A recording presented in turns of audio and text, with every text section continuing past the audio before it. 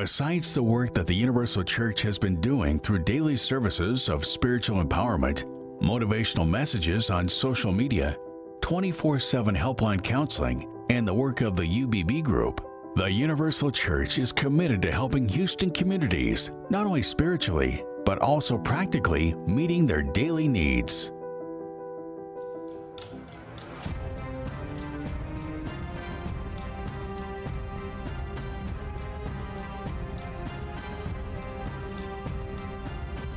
As the truck arrived, many people gathered together to receive the supplies provided.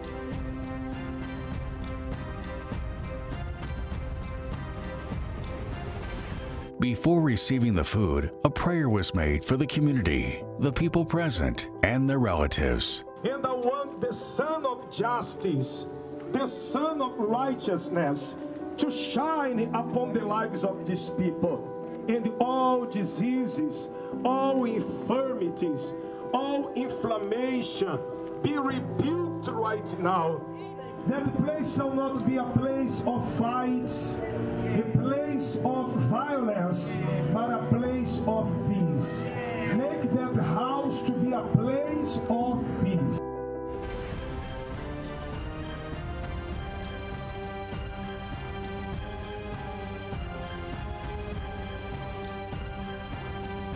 Unisocial, reaching out to those in need.